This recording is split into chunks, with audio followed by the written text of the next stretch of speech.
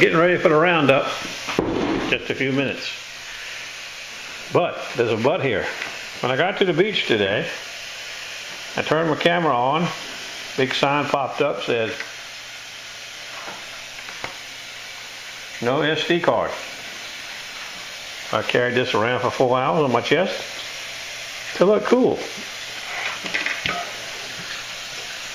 Old timers. I'm gonna to start carrying an extra camera and an extra SD card in my truck. That's hell, ain't it? The golden ages. Stand by. What I forgot to tell you was, if I was going to forget my camera, today was the day to do it. It was bleak today. We got skunked. No kind of jewelry. I mean, no kind of ring at all. Earring. A few quarters, a few dimes. The coolest thing is a bale seal, a lead bale seal.